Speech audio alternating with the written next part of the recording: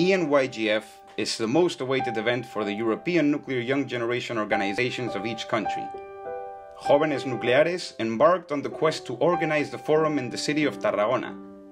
Let us present the main numbers of the 2021 edition of ENYGF. 44 scientific advisors from 14 countries helped us decide the forum topics.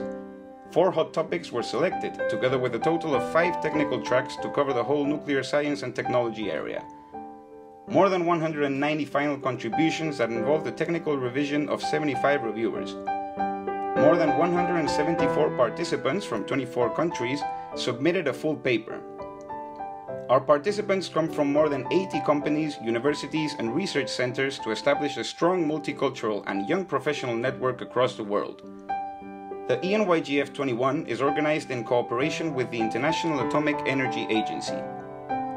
Our uranium sponsor, Rosatom, is one of the biggest companies in the world that contributes to the nuclear sector with the latest designs of nuclear reactors and their applications.